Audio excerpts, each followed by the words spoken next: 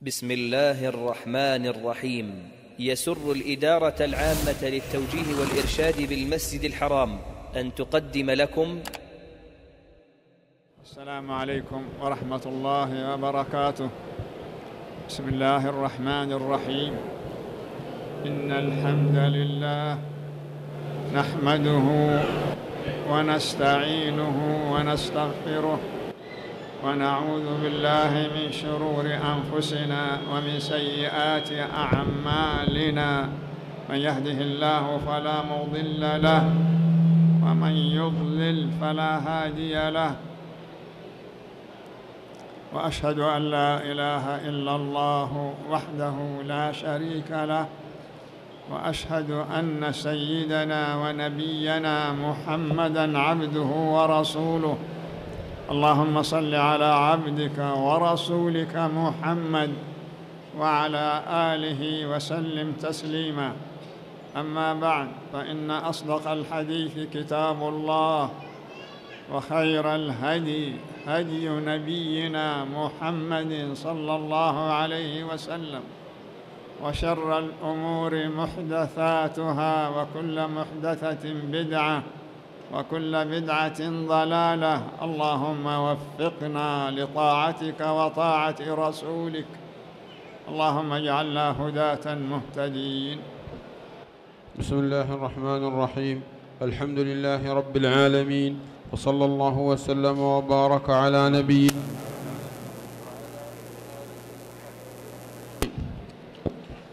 وعلى آله وصحبه أجمعين. باب في طاعة أولي الأمر. فصل في فضل الإمام العادل. وعن معمر عن ابن طاووس عن أبيه أن عمر بن الخطاب قال أرأيتم إن استعملتم إن استعملت عليكم خير خيرا أو خير من أعلم ثم أمرته بالعدل.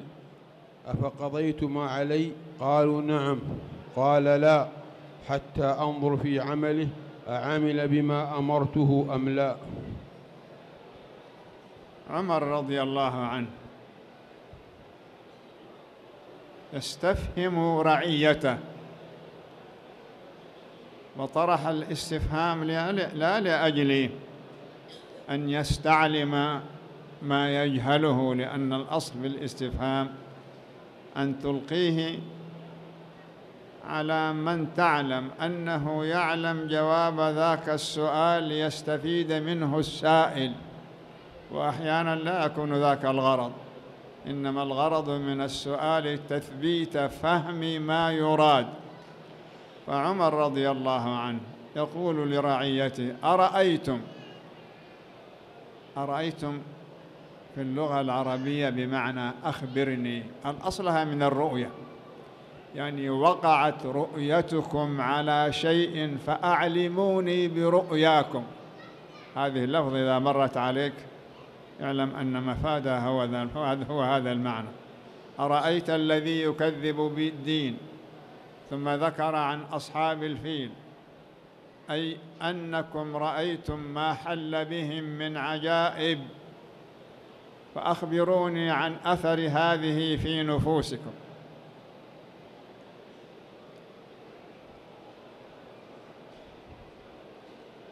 يقول هنا رضي الله عنه أرأيتم إن أستعملت عليكم؟ الاستعمال أي طلب العمل. طلبت من أحدكم أن يكون عاملا في أمر ما خولت له سلطة عليكم. هذا الذي استعملته خير من أعلم بمعنى أني ما قصرت. وهذا واجب كل واجب كل من استرعاه الله رعيه الرعيه لا تفهم منها أنها عدد أشخاص يفوق الحصر. لا يا ولد. حتى في بيتك. إن أردت أن تجعل أحد رقيب عليهم وصي عليهم فليكون من هو أفضلهم وخيرهم. ما هو من هو أسنهم؟ لا ليست بالسن. ولا من هو أغناهم وأثراهم ليست كذلك. وإن كان تغيرت الأحوال لأن هذا الأفضل والخير. إنما يعمل معهم بما يرضي الله عز وجل. الذي يرضي الله عز وجل ما هو؟ كل مصلحة لخلقه جلبها ودفع مضرة, مضرة عنهم يذب عنهم الشر ويجلب إليهم الخير.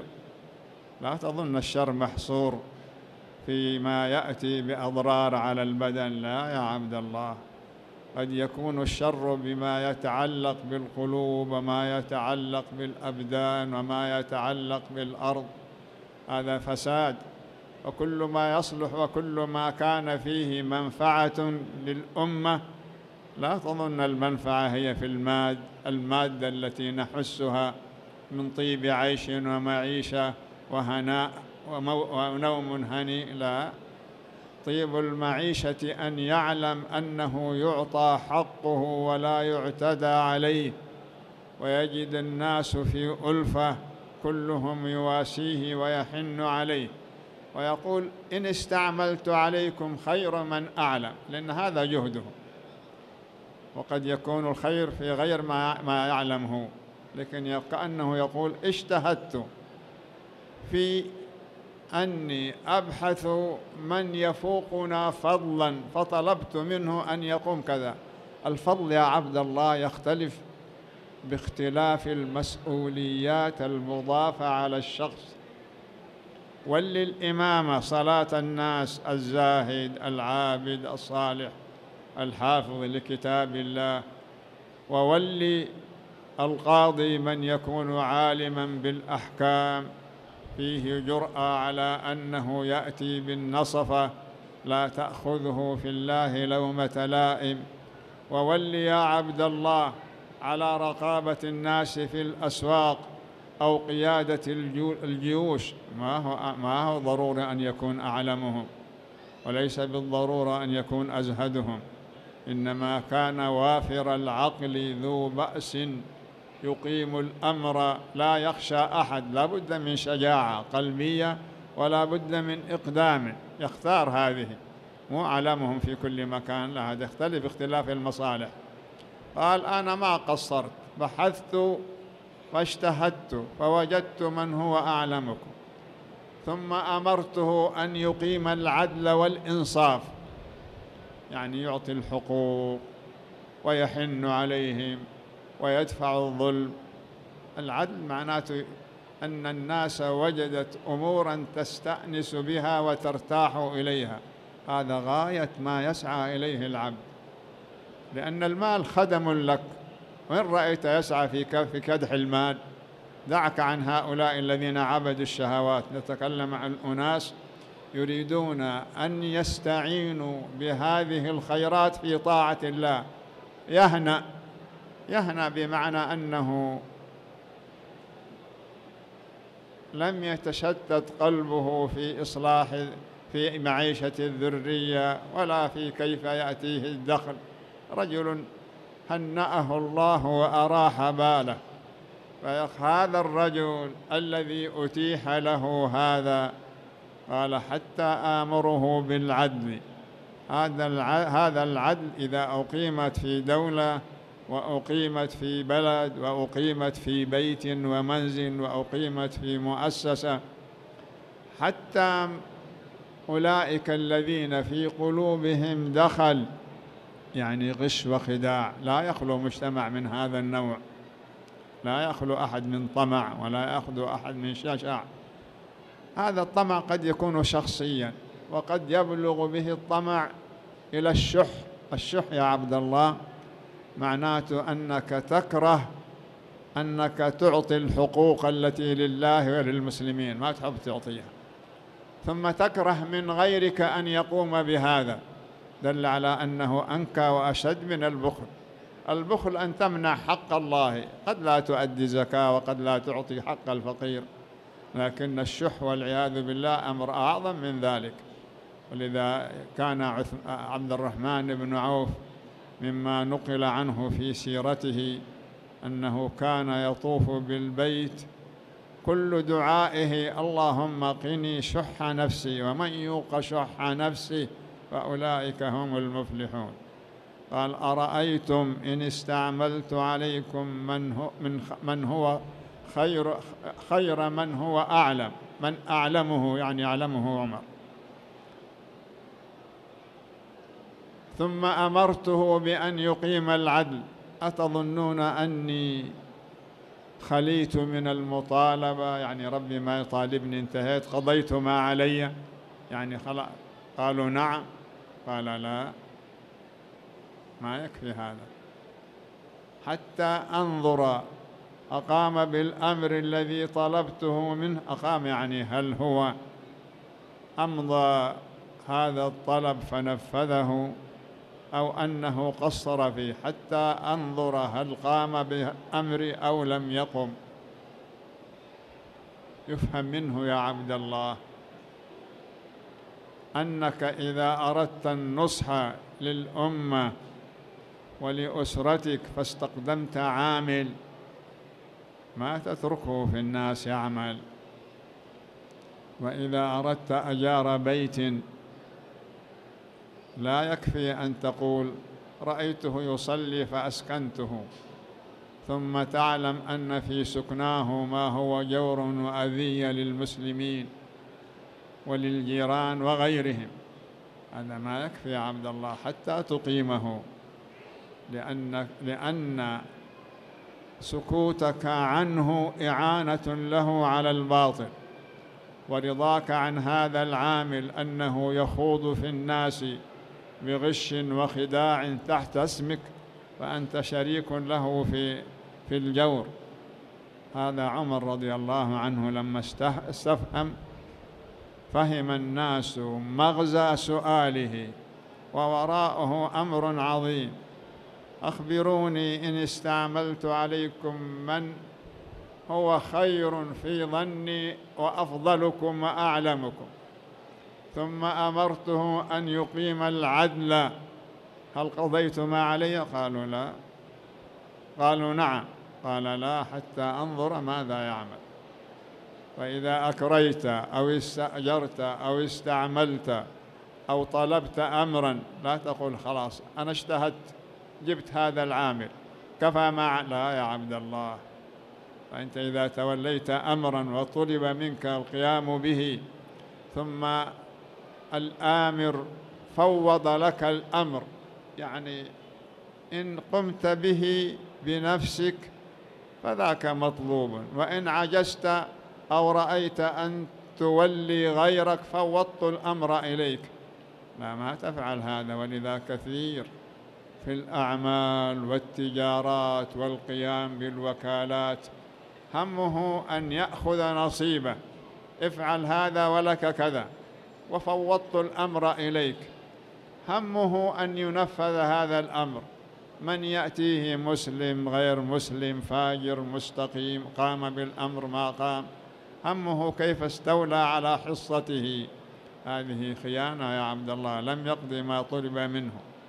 فيقول رضي الله عنه أخبروني إن فعلت ذلك هل قضيت؟ قالوا, قالوا نعم. قال لا والله حتى أنظر يعني حتى أتابع.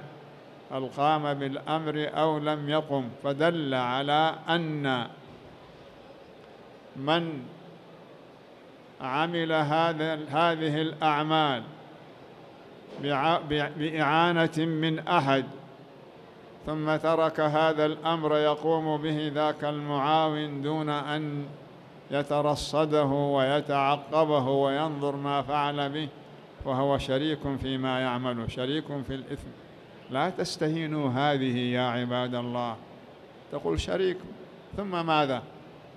لأن الكلمة إن لم تغامر فتدخل سويداء القلب ما يفهمها المرء.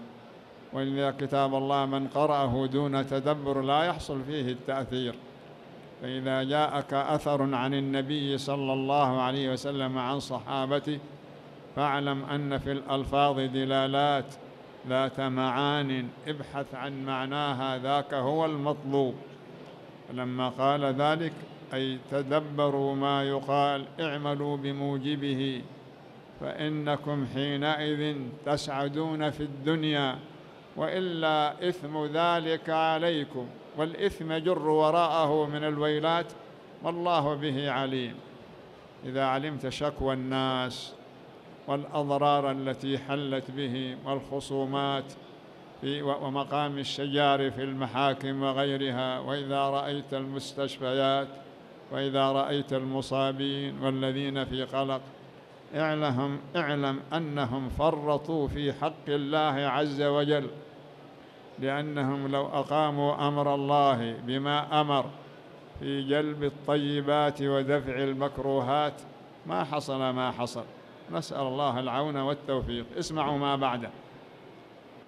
وبه عن معمر عن أيوب أو غيره عن حميد بن هلال قال لما, دف لما دفن عمر أبا بكر رضي الله عنهما قام على المنبر ثم قال أيها الناس إن الله قد ابتلاني بكم وابتلاكم بي وخلفت من بعدي وخلفت من بعدي صاحبي والله لا يحضرني شيء من أموركم ولا يغيب عني منها شيء. قالوا فيها عن أهل الأمانة والحرم. قال فما قالوا فيها فآلوا فآلوا فقالوا؟ فآلوا حمزة؟ فآلوا فيها عن أهل الأمانة والحزم. فآلوا فيها عن أهل الأمانة والحزم؟ أي. والحزم. قال فما زال على ذلك حتى مضى. رحمه الله تعالى. لما دفن عمر أبا بكر رضي الله عنه يسند يسند أحيانا الفعل إلى غير من قام به إذا كان هو الآمر أو المشارك أو المطلوب منه. الذي دفن أبا بكر عدد من الناس قد لا يكون فيهم عمر لكن أراد يقول لما انتهى الدفن من من من أبي بكر رضي الله عنه وقد استخلفت استخلفه ورضيت الأمة به قام فخطب الناس. قال اسمعوا خطبته هذه البليغة. قال يا أيها الناس يا نداء للبعيد وأيها الناس يعني استرعوا انتباهكم سأقول لكم شيئا يعني فيه مباغة ومفاجأة لكم. إما منفعة أو أمر تحذروه. يا أيها الناس إن الله قد ابتلاني بكم وابتلاكم بي. الابتلاء يعني الامتحان. لا تظن الابتلاء هي المحنة التي تنزل بالإنسان. مما يسوءه من مكروهات وآلام وأمراض. لا ليس هذا المعنى. أصل المعنى الابتلاء الامتحان قد يكون خيرا وقد يكون شرا.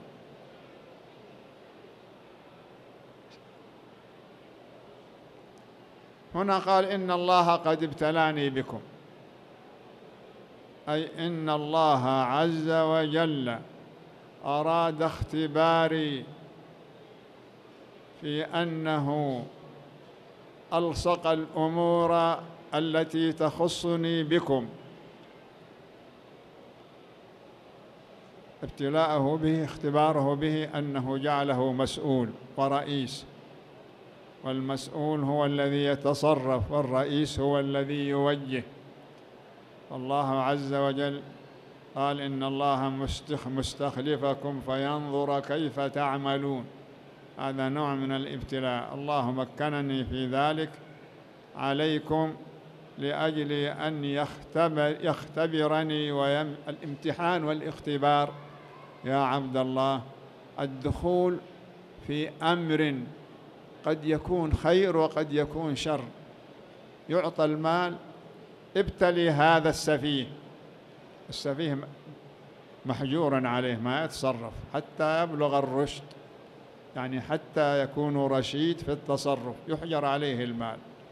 فتقول ابتليت هذا السفيه بمعنى أعطيته المال قلت تصرف بع واشتري. فأنت ابتليته بخير وهو المال. هل وجدته يتصرف فيه بحق أو لم يتصرف فيه بحق؟ ولذا أحيانا يبتلى بشهوات وشبهات ويبتلى بأمور. فمن نجا فقد نجح ومن لم ينجه بين تبين أنه يستحق العقوبة.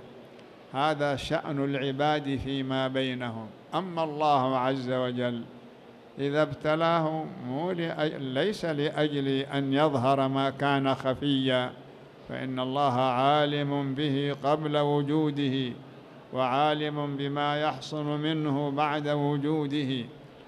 والله عز وجل لا يعاقب العباد ولا يحاسبهم بعلمه السابق لا إنما يعاملهم بما ظهر منهم من حسنات وسيئات فيبتليهم ليظهر ما عندهم طاعة أو معصية فيكون فتكون العقوبة والجزاء وفق ما ظهر هذا معنى اختبار الله له.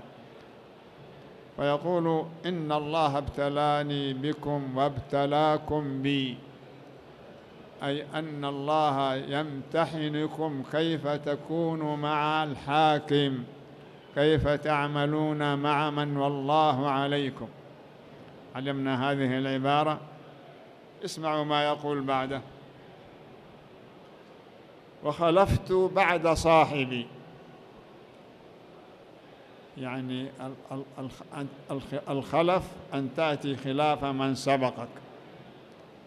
ولذا تقول اللهم أنت الصاحب في السفر والخليفة في الأهل والمال والولد أي تخلفني في أهلي أنا غائب عنهم. لكن ما تقول خليفة الله ولا تقول أن الله يخلف عبده. إذا قلت إن يعني أنت خليفة الله هذا رفضها السلف رضي الله عنهم لأن معناه أن الله غاب فكنت مكانه في غيابه والله لا يغيب عن أمر. لكن قل كان خليفة رسول الله صلى الله عليه وسلم أي خلف بعد ذهاب الرسول وخلف أي جاء بعد ذهاب أبي بكر رضي الله عنه. إن الله ابتلاني بكم وابتلاكم بي وقد خلفت بعد صاحبي. يعني جئت بعد صاحبي أبي بكر رضي الله عنه. وإني والله لا يحضرني شيء من أموركم. شوف هنا في عدة في نوعان من التأكيد. إني حرف. كلمة إن تأتي للتأكيد. تقول شرب زيد الماء تخبره أن الماء وضعناه له بعد طلبه. لكن ما تأتي لإنسان يعلم أن هذا يشرب الماء؟ تقول إن زيدا شرب الماء يعتبروه حشو في الكلام. إيش معنى الحشو؟ يعني جئت بشيء زائد ما نحتاج هذا. قل زيد شرب الماء. لكن إن علمت أنهم حريصي حريصون على أن زيدا المريض يشرب هذا الماء لأنه مخلوط بدواء ولا بد من ساعة معينة فتتبعوه. فالمشفقون عليه يترقبون هل حصل منه الشرب أو لم يحصل. فأردت إدخال السرور وإراحتهم. تقول والله إن زيدا شرب الماء. فترتاح أنفسهم لأنهم علموا أنه انتهى. لكن تأتي بإن في غير موضعها ما يقبلها العرب لأن هذا من باب الحشو في الكلام. لكن إذا كان لا يعلم أو أنه متردد أو في القلب شك أو أمر لا يمكن سيما الأمور المفزعة الفظيعة في الغالب هذا الخائف الوجل الوجل يحتاج إلى من يؤكد له إزالة الخوف. فقال إني والله وأقسم بالله ما طلبوا منه القسم. لكن أراد أن يقول الأمر في غاية الخطورة والنزاهة. إني والله لا يحضرني أمر أشاهده أو يغيب عني. اقرأ العبارة. وخلف وخلفت من بعدي صاحب وإني والله لا يحضرني شيء من أموركم ولا يغيب عني منها شيء. لسه ما كلم آلوا فيها آلوا فيها عن يعني أهل قال والله الأمانة لا, لا يحضرني شيء من أموركم. أمور جمع أمر مف... الأمور مفردها أمر. والأوامر مفردها أمر. لكن مفرد الأوامر إذا قلت أمر معناه افعل أو لا تفعل. أما الأمور هي قضايا واحدها كذلك أمر. كالأحداث التي تحدث وما يجري وما يكون جمعها أمور. أمور الناس ما يجري وما يحدث فيهم من قضايا من منازعات وخصومات. أو ألفة وموت وحياة ومطالب نقصان حاجة كل هذه أمور الناس. قال ما يحضرني بمعنى لا يبلغ علمي من أموركم. بلغوني إياها. ولا يغيب عني شيء من أموركم. الذي يغيب عن عمر. لما يقسم عليه؟ لأن, لأن هذه الجملة ما تمت. تتمتها لا أقصر في أن أبآل بمعنى أقصر. عمن سبقني في إقامة الواجب وقضاء الحاجات وأعمال الأمور التي ترجع إلى نصابها. فلما قال لا يحضرني شيء ولا يغيب عني إيش معنى لا يغيب عني؟ إما أن تقدر غائب عني فبلغت به. أما الذي يغيب عنك ولا تدري عنه هذا أنت غير مسؤول عنه. لكن ولا يغيب عني أي ليس بحاضر عندي إنما بلغت به. فآل الفاء جواب القسم. والله لو كذا حصل كذا فكذا حصل كذا لا لا أقصر. آل لا آل جهدا أي لا أقصر في جهدي. هنا قال رضي الله عنه قال فآلوا فيها عن أهل الأمانة والحزم. أي أعمل فيها عملا لا يصدر إلا عن أمين وحازم في أمانة وفي حزم. الأمانة بمعنى أنه يؤدي الشيء على وجهه كما طلب. ما يخون ولا يغش ولا يخدع ولا يتظاهر أنه متماوت أو مريض. فتقول رجل أمين طلب منه بذل جهده في تحقيق ما طلب منه. حزم ليس ما فيه تقصير ولا فيه وداعة ولا فيه كسل ولا فيه ابتعاد إنما فيه مضاء وقوة وإنجاز للأمر. هاتان الخصلتان. ينبغي أن تستوفى في من وضع وضع في من جعله الله عز وجل وليا على أمر. ولذا اختار يا عبد الله إذا كنت صاحب عمال أو شركة ولو كنت فلاحا اختر من يرأسهم أن يكون تكون فيه هاتان الصفتان يعني بعد التقوى والإيمان مو ضروري أنه يصلي كثير ما ينفعنا موضع الصلاة كثير. ولا يش ولا يم ولا تقل أنه حافظ للقرآن. ليس حفظ القرآن في هذا المجال هو الصالح. إنما الأمانة والحزم رجل عمر من الملهمين. أي أن الله عز وجل يوفقه لقول الحق والصواب. قال والله ما يحضرني من أموركم شيء ولا يغيب عنه عني شيء عني شيء شيء من أموركم فبلغت به. لا أقصر عن أهل الأمانة والحزم. أقوم بها بأمانة.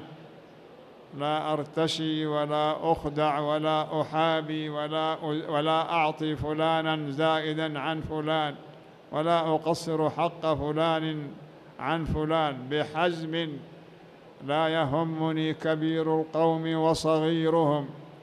طبعا له له كلما كان المجتمع والأمة التي أنت تقوم عليها أكثر قلوبهم على الإيمان والخير والحق والخير يسهل أمرك. ولذا صاحب الأطفال والعيال والعائلة الكبيرة إذا كان ساعيا لمرضاة الله عز وجل مريدا للخير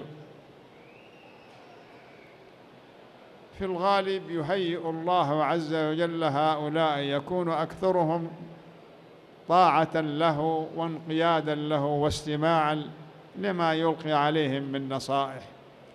فإن وجد ولا بد أن يوجد. من في القلب حب الشهوة والخلاعة وبعيد عن هذه؟ لا يستطيع أن يجهر لأن غيره يكبته غيره يكفه غيره ينهره. فلا يفسع عن هذا. قد يفعله خفية. ولذا لما يأخذ الأمر بالحزم ويأخذ الأمر بالأمانة حتى ذاك الذي في قلبه مرض. ما يستطيع أن يشنع عليه لكن لو لم يأخذ بالأمانة وبدأ يقول فلان له كذا وهو حق له وفلان يمنع كذا وهو حق في منعه. ما يقبلون منه لأنه رأوا من قبل بعض الزيغات وبعض الاستقامة. إن لم يجهروا بالمعاندة هذا أما هذا يحصل في الأطفال في الأولاد. بنات وبنين. لو سمعت شكاوى الناس ما يحصل من ذرياتهم تستعجب. يعني ما إذا سمعت أن فلان قتل أباه أو عمه على دنيا لا تستغرب. ما دون ذلك ما دون القتل قل ولا ولا حرج. ونسأل الله العافية والسلامة. أغلب من عصى وخرج عن الطاعة وفسق لأنه وجد من أهله بعد التصرفات التي تناقض الإيمان وتناقض القول فيبدأ به. الله عز وجل بذنب العبد يسبب له عقوق الأبناء وبذنب العبد يسبب له نشوز الزوجة. وبسبب ذنوبه وعصيانه تتعطل يتعطل عليه مركوبه. كان الأوائل يقولون يقسمون بالله أنهم يعرفون أنهم ارتكبوا ذنوبهم لأن حمارهم حرن يعني تمرد عليه. إذا ساقه في طريق يأبى أن يمضي. ووجد الخيل استعصت عليه والبغال شردت عنه. حتى الحيوان يقع فيها التأثير ويقول أنا لا آلو فيها لا أقصر عن أهل الحزم والأمانة. إذا علم الله إخلاصه طوع له رقاب الناس. حتى صاحب الباطل إذا أراد أن يظهر كمت. وجد أهل الخير يقومون عليه ولا يرضون منه. ولذا احرص يا عبد الله ألا يكون رفيقك وصديقك إلا من يخشى الله ويتقيه. مع ذلك احذر عامله معاملة من يبتغي وجه الله عز وجل ما تعامله لأجل أن يقوم بإسداء المعروف الذي قدمته له لأن الناس هكذا شأن الناس. الصداقات التي لا تكون دائما على وجه يرضي الله عز وجل فيها شوب يعني فيها خلط. لا وقل من تصفو صداقته لا بد من شيء يؤثر على الصديق. قد يكون من هذا أو يكون من هذا. فتجده يصرخ عملت معه كذا وما عملت معه كذا وساعدته ما في معروف ينكر يجحد. لا يا عبد الله أنت لا تعمل المعروف لأنه عشان لا يجحده. اعمل معه لأجل وجه الله عز وجل وتوقع ما تتوقع إنما تطلب الأمر من الله عز وجل. هكذا افعل مع ولدك يا عبد الله. لا تتوقع أنه في المستقبل يعينك إذا مرضت ويقودك إذا عميت ويسعفك في حال شيخوختك. لا لا تتمنى. اسأل الله عز وجل أن يغنيك عن كل أحد لكن قم بأمره وأصلح شأنه لأجل أن يستقيم. تؤجر على تلك العطايا وما قدمته أما إن أملت هذا قد يخيب الله الظن. اسمع عمر ما يقول رضي الله عنه. إني والله لا يحضرني شيء من أموركم ولا يغيب عني منها شيء. فآلوا فيها عن أهل الأمانة والحزم. الراوي يقول فما زال كذلك حتى لقي الله عز وجل أي لم نر منه خللا في الأمانة والحزم والتقصير. رضي الله عنه. اقرأ ما بعده. وبإسناده أن معمر عن الزهري أن يهوديا جاء إلى عبد الملك بن مروان فقال إن ابن هرمز ظلمني. فلم يلتفت إليه ثم الثانية ثم الثالثة. فلم يلتفت إليه فقال له اليهودي إنا نجد في كتاب الله عز وجل وفي التوراة أن الإمام لا يشرك. نجد لا في كتاب الله عز وجل يعني في التوراة. لا يشرك في ظلم ولا جور. لا يشرك. لا يشرك في ظلم في ولا ظلم ولا جور حتى يرفع حتى يرفع إليه.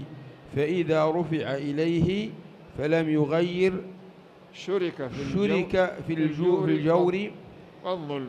والظلم. قال ففزع بها عبد الملك وأرسل إلى ابن هرمز فنزعه. ابن هرمز الله أعلم أحد ولاة عبد الملك بن مروان. في المساحات الشاسعة التي هو خليفة وملك عليها.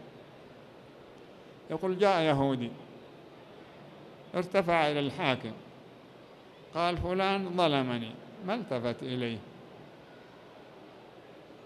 ما التفت إليه؟ عبد الملك رضي الله يعني رضي الله عنه ورحمه الله ترى من أهل الفقه يعدونه فقيها. يقول هو ما التفت إليه قد يكون عن إهمال.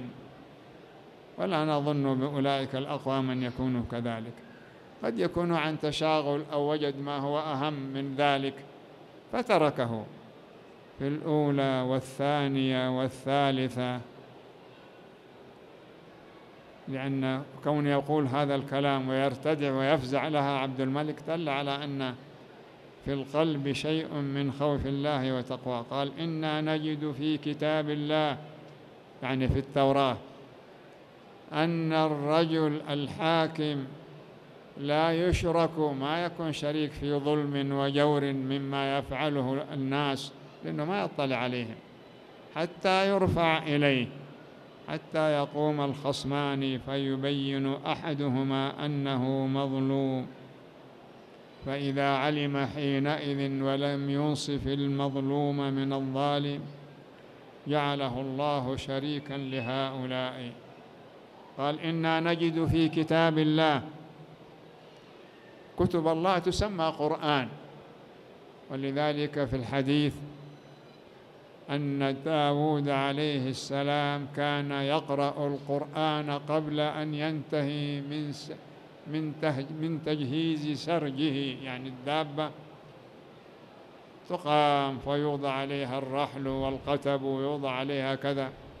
وقبل لا ينتهي منها ختم الزبور وسمي الزبور قرآن. قال في كتاب الله أي في المنزل على موسى نجد يعني نقرأ ونعرف. يعني أنت تؤمن بما أنزل الله عز وجل. إذا حدثكم أهل الكتاب فلا تصدقوهم ولا تكذبوهم أي في القصص والخيالات والإسرائيليات مو في أحكام الله في الظلم والجور والعدل. قال نجد كذا وكذا. قال ففزع لها. يعني حينئذ ارتعد وخاف. ما قال له نعمل كذا ونعمل كذا لا. قال له بس في كتاب الله. ففزع لها ونزع ابن هرمز يعني بمعنى حاكمه فثبت ظلمه وجوره فنزعه من مكانه. نعم. وعن أبي أيوب عن أبي قلابة عن أبي مسلم الخولاني قال مثل الإمام كمثل عين عظيمة صافية طيبة الماء يجري منها إلى نهر عظيم فيحوض الناس النهر فيدركونه ويخوض الناس في النهر فيكدرونه. مثل الإمام مثل يعني مثله المثل يعني أمر مضروب لتقريب الفهم وتعليم الناس. فنحن نجعل للإمام مثلا أي أمرا نقيس الإمام عليه. الإمام كعين صافية تتفجر ماء عذبا سلالا صاف يسيل حتى يمتلئ الوادي فيصب في النهر. ويقوم الناس فيستعملون النهر فيكدرونه. هذا مثل. سيأتي مثل آخر. القصد أن الإمام يخرج منه العدل والإنصاف والسماحة وتفقد الناس وقيام بحقوقهم. هذا كله مثل به بعين صافية. رفع الظلم وإعطاء الحقوق وكسر يد المجرمين وإبعاد الظلمه والتعقب فيهم. قال نشوف هذا كله أمور تجري من منه إلى الناس. ثم هذا هذا الماء الصافي يتجمع في النهر. ثم يكدرونه. كيف يكون تكدير؟ وتلك الأمثال نضربها للناس وما يعقلها إلا, إلا العالمون. إذا وجدت مثل في كتاب الله تمعن فيه. واعلم أن الله أراد بذلك أمر عظيم. هنا قال الناس يكدرونه يكدرونه بالسيئات ويكدرون المجتمع بما يحصل من تنافس على دنيا يتولد منها أحقاد وأطماع وبما يوجد من من شرود وعدم إخلاص وضغن وغير ذلك. هذه السيئات الخفية والظاهرة من الشهوات وغيرها. هذا هو الذي شبهه بأن هذا الماء الصافي يكدره هؤلاء الأقوام. اقرأ ما بعده. ويعود عليهم مقر العين فإذا كان الكدر من قبل العين فسد النهر. ويعود عليهم صفو العين يأتي الصفاء فيصلح ذاك الكدر. فإذا كان الكدر من قبل العين إيش تعمل يا عبد الله؟ واضح هذا؟ ثم يقول هنا الأمثال أصلها جملة طويلة تحتوي من الفوائد والحكم أمور. لو أردت أن تقول هكذا لما سهل على كل الناس استيعابها. ولذا في بعضها الأمور في بعض الأمثال فيها نوع من غموض. من تفطن يعلم ذلك. بسم الله الرحمن الرحيم. سبح اسم ربك الأعلى. الذي خلق فسوى.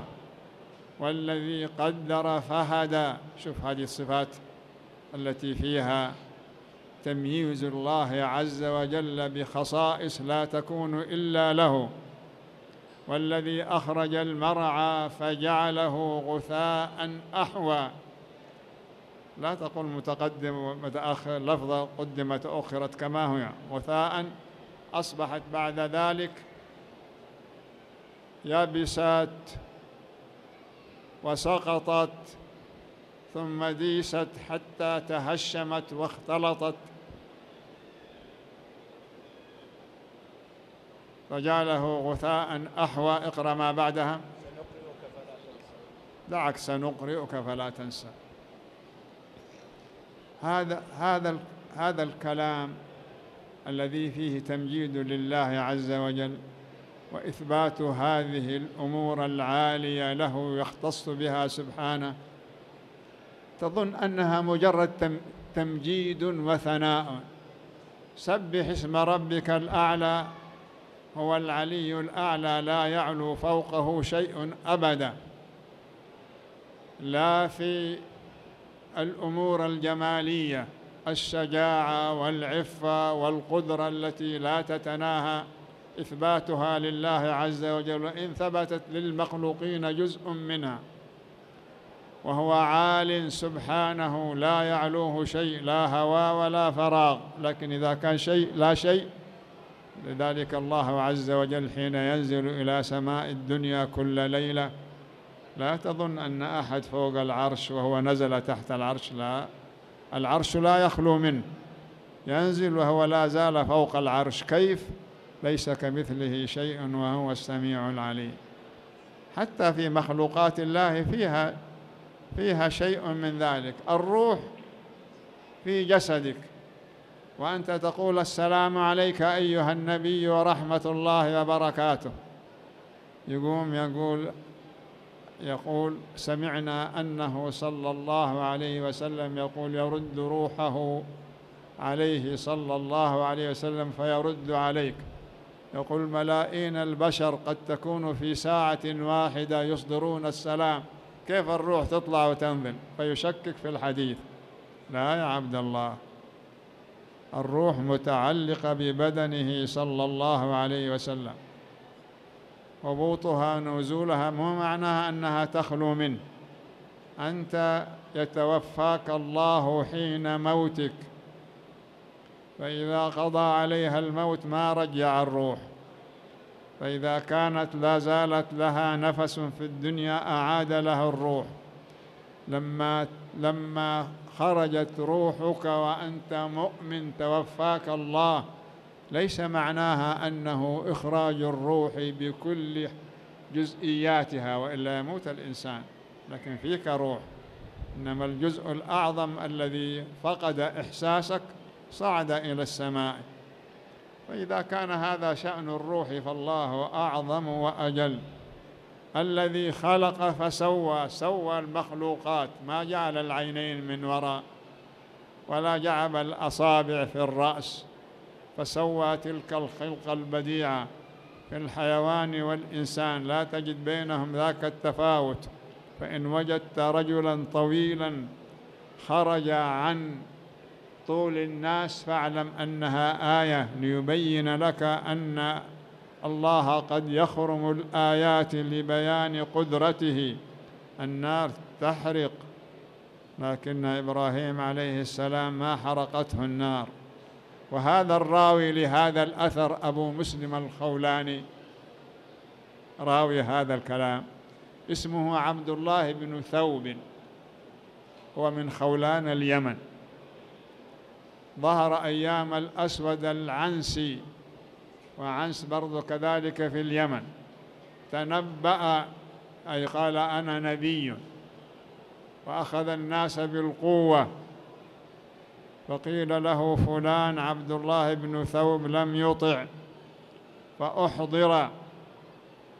قال تعلم أني نبي؟ قال لا أسمع. قال تعلم أن محمد رسول الله قال أشهد أنه رسول الله صلى الله عليه وسلم. ثلاثا يكررها قال أججوا له نارا. وضعوا نار عظيمة فألقوه فيها.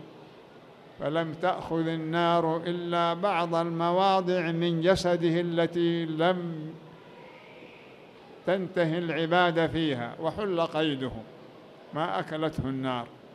فلما علم أنه يعجز عن قتله قال له قومه أخرجوا أخرجوه من قريتك وإلا أفسد الناس عليك. إيش معنى أفسد الناس عليك؟ هذا زي ما كما ادعى فرعون أنه يريد الإصلاح وأن موسى يريد الفساد أو أن يظهر في الأرض الفساد. قصده الفساد يعني عدم طاعة فرعون والفساد يأتي من قبله لأن الفساد في الأرض هو العمل بغير طاعة الله. لو ما يؤخذ الزاني ويجلد الفاجر ويقطع يد السارق كم يكون في الناس من هرج ومرج وخوف واضطراب؟ فهذا الشاهد قالوا طلعوا ذا من مكانكم. إن تركتموه بين قومكم أفسدوه. فطلب منه الرحيل. فغادر حتى جاء المدينة. فربط راحلته حول المسجد. ودخل يصلي. فرآه عمر رضي الله عنه. فأعجبته هيئته وصلاته. فأقبل وسلم عليه. قال من الرجل؟ قال من من اليمن. من أي اليمن؟ قال من خولان. ما الاسم؟ عبد الله قال أتعرف رجل؟ اسمه كذا عبد الله بن قال أنا هو. فقام إليه فقبله وعانقه. لأنه أخبر أن رجل ألقي في النار فنجا ولم يحترق. بفضل إيمانه بهذا الدين. قال الحمد لله الذي أحياني حتى أرى في, أم في أمة هذا النبي صلى الله عليه وسلم من فعل به كما فعل بإبراهيم عليه السلام. أنا نسيت القصة من أولها ربطناها بإيه لا أدري. لكن اسمع الآن اقرأ ما بعده. طيب. قال ومثل الإمام والناس كمثل فسطاط مستقيم. لا يستقيم. هذا مثل آخر. علمنا المثل الذي ضربه في العين الصافية. المثل الآخر قال اقرأ. فسطاط مستقيم. ومثل الإمام والناس كمثل فسطاط. الفسطاط يا عبد الله يعني الخيمة الكبيرة. ضرب له فسطاط يعني جعلت له خيمة ذات أوتاد وطنب متسع يحمل كثير من الناس. الفسطاط ما يعمل للعائلة ولا للأفراد إنما يعمل للإمام ومن كان حشدا كبيرا. قال مثل الإمام كمثل فسطاط. أنا رجعنا لما كنا فيه. كنا نقرأ سبح اسم ربك الأعلى. ما حد فيكم كده ذو نباهة يقول كنا في الموضوع الفلاني. لو ختمنا الدرس وقمنا ما نرجع إلا بعد الحج. ويفوتنا هذا.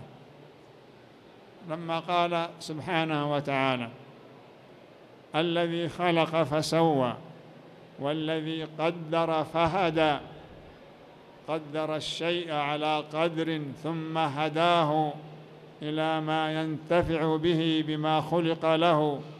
جعل الأصابع للبطش والبسط وجعل العينين للرؤيا وخلق في في الحيوان رحمة حتى أن التي نتجت أو ولدت ترفع حافرها عن مولودها خشية أن تؤذيه إيش دراها إنه لو وطأت كذا؟ ويعلم هذا وتعالى يعلم هذا الحيوان أنه ينبغي له أن يكون كذا. وترأف الأم ولدها وتحن عليه. الذي قدر فهدى والذي أخرج المرعى. يعني أنبت النبات لأن الإنبات وإخراجه لا يكون إلا من قادر وحده تفرد به. فجعله غثاء أحوى. هذه الجملة يقول القارئ تعظيما لأنه ورد في كتاب الله. وهو لا يفهم معناها لأن لا يتفطن منها يتفطن لها إلا من أعطاه الله الفهم. فيقول هذا الله عز وجل يقول أخرج النبات ثم النبات حينئذ إذا بلغ القدر جف فإذا جف سقط فإذا سقط أصبح سوادا من الدهس. هذا الذي ظاهره كذا. لكن يا عبد الله ضربه الله مثلا للدنيا. تزهو وتزدهر وتزين في الأعين ثم مصيرها إلى هذا. يا من خلقك فسواك وقدرك على الأمر فهداك إليه. لأن الهداية الإرشاد والدلالة تعلم المصلحة من غير المصلحة. اعلم أن الأمر كالنبات حين يجف وينتهي. هذا مصيرك يا من سواك فعدلك. انتبه. قد يكون هذا المثال نوع من من من من من من خفاء لا يدركه إلا قليل من الناس. كالمثل الذي في آخر سورة ياسين. ثم ضرب صلى الله عليه ثم ضرب أبو مسلم الخولاني عبد الله بن ثوب للإمام بهذا المثل الآخر. قال الإمام مثله نقيس عليه كأنه فسطاط كبير ذو أوتاد وذو أطناب وله عمود في الوسط لأجل أن يحمله أما أطرافه فهي فيها أوتاد تثبته. اسمعوا ما يقول. أو قال لا يستقيم إلا بعمود. أو قال لا يستقيم أو لا يستقل. يعني الفسطاط لا يستقل بمعنى يقوم بنفسه. استقل فلان أي قام بنفسه ما حد عاونه. استقل الطائر بمعنى أنه جنح بجناحيه رفع نفسه بنفسه. يستقيم بمعنى أنه يستمر ما فيه خلال. فالناقل لهذه من أبي مسلم شك في اللفظة لا يستقل أو لا يستقيم. نعم. إلا بعمود ولا يقوم العمود إلا بأطناب أو قال بأوتاد فكلما نزع. الوتد الذي يكون في أطراف الخيمة يدق في الأرض. ثم هذا له أطناب تلك الحبال الغليظة. الذي تؤخذ من طرف الخيمة وتشد بالوتد لأجل أن تمتد فتتسع لأكثر عدد ممكن. ويقول هذا العمود ما يستقيم الخيمة الفسطاط إلا به. ثم هذه الأطنا الأوتاد والأطناب هي التي تساعد على ثبوت الفسطاط وعدم انهياره. اقرأ.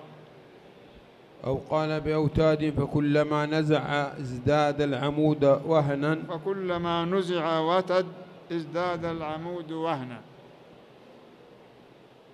شبه رضي الله عنه الإمام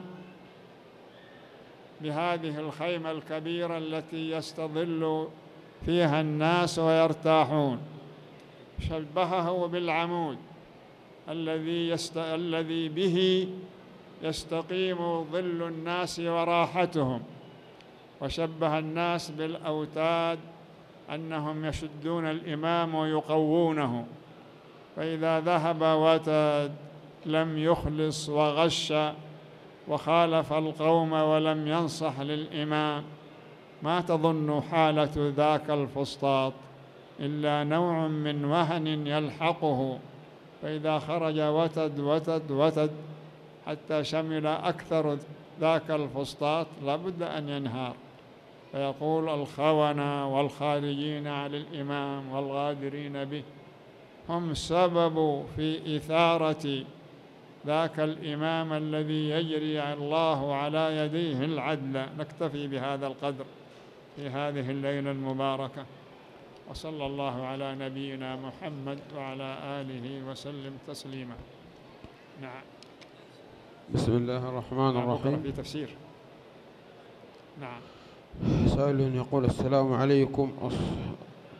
أحبكم في الله يا شيخ. ما هو الوسواس القهري والوسواس العادي وما هو علاجه حفظكم الله؟ وسواس قهري ووسواس عادي. هذا الصلاح النفسانيين. ولا الوسواس درجات. فسموا الدرجة التي استولى فيها الشيطان على المرء سموه وسواس قهري والذي يكون تارة وتارة لأن المرء لا زالت صلته بالله يذكر الله ويخاف ويستغفر فيخنس عنه ثم يغفل فيعود إليه. سموا الأخير ذاك قهري يعني لا يستطيع المرء يتخلص منه.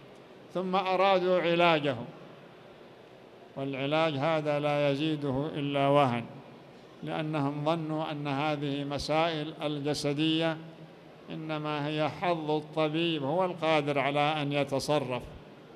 لا يعلمون أن الذي ابتلاه هو وحده الذي يزيل هذا الكرب ويكشف هذه الغمة وهم يتصرفون معه تصرفات عجيبة. صلى الله على نبينا محمد وعلى آله وسلم تسليما.